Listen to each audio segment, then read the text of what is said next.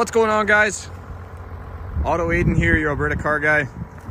Today we're gonna take a look at this 2024 Suburban High Country full jam. The only thing it's missing is the rear media entertainment system and some power boards. Otherwise, she is loaded right up to the nines. We're gonna take a full walk around video of the exterior and then work our way on the inside. This one's got the jet black mocha interior. So getting started on the driver's side here. This unit's equipped with your standard running boards, 22 inch aluminum polished wheels. She's also got the 360 degree camera. See that high country girl, you'll notice that's a little bit of a difference. Get a lot of people asking me how you identify a high country versus an LT versus an RST. A lot of it comes down to how that front grille is. These high countries will have a little bit of a you can see that there, but a little bit of a bronze kind of accent to it. This one's got gold bow ties on the front, chrome badging. This unit's equipped with magnetic select ride control. Something a lot of people are looking for in these units. Something Chevy's always stood by is their ride quality. Unbelievable to drive. If you haven't driven one, worth coming in and checking it out. Keyless entry to hop into this one. My favorite part is that jet black mocha interior. We just don't see enough of this. It's really nice working day in and day out. Selling the vehicles to see something nice and refreshed. I really wish we had this for the half tons too, because believe me, if we did, I'd have this in my truck. High country badging. See that kind of woven into the uh, headrest there. But just so nice. Black steering wheel. Everything else is kind of like a brown accent. Some nice wood grain finishes through there on the door panels and then further in. This unit's also got rear camera mirror. That's great. People are using these to cart around kids, move things around. A lot of time you have a lot of cargo in the back. That was designed so that uh, you do end up having people in the back. Obviously things can get kind of jammed up. If you got cargo boxes or hockey bags or whatever, you flip that on. It's got a little bit of a night vision mode, easier to see. Um, it's just there so that uh, you have the back full and you can see out really easy. This unit's also got the full panoramic sunroof, Bose sound system. We'll hop in here, show you around. This unit's equipped with heads-up display, parking sensors, automatic start stop for the engine. That's where the engine shuts off when you come to a full stop at a red light. It's also got your 360 degree cameras, auto four high, four low, two wheel drive. These are your uh, headlight settings and the interior brightness you can adjust as well. Not sure if you're gonna be able to see that heads up display there in the windshield, works half the time, just the way that the camera picks up the LEDs, I think you can see it there. This particular unit's got 13 kilometers on it. Heated steering wheel, adaptive cruise control, something available in this one as well, where it's gonna start, or I guess slow and speed up based on the person ahead of you when you are in cruise control. If you're upgrading from the previous body style, you'll notice Chevy has changed to these nifty little shifters.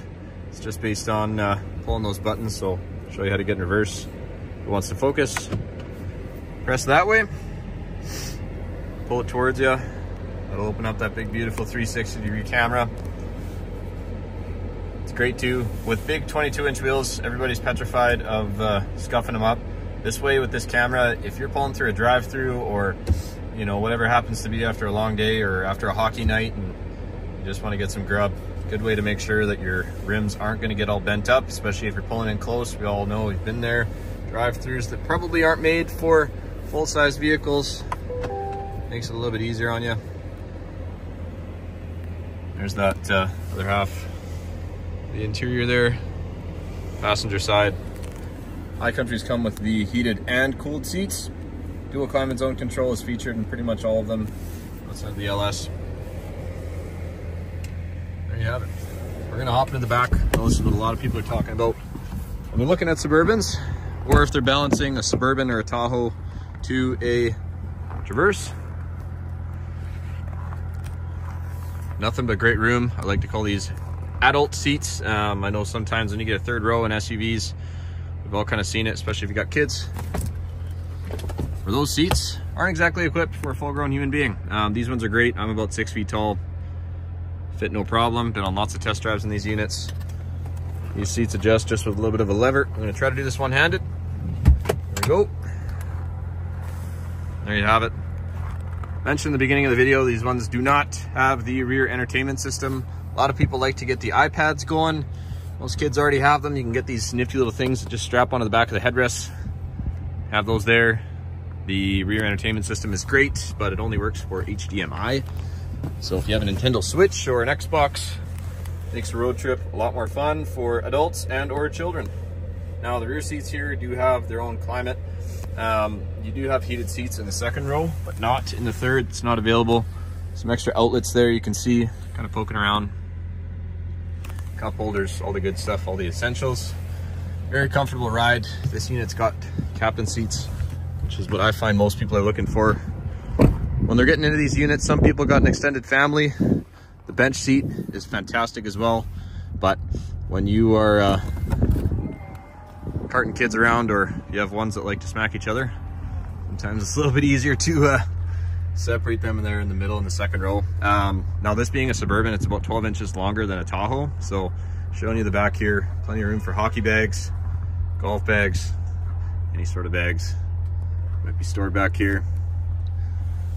Now, power seats in the second row, power seats in the third row. Those fold down like a so. Really nice, easy, convenient. You can pop that third row back up with power. Only thing you got to worry about is sticking those headrests back up yourself manually, which is really easy.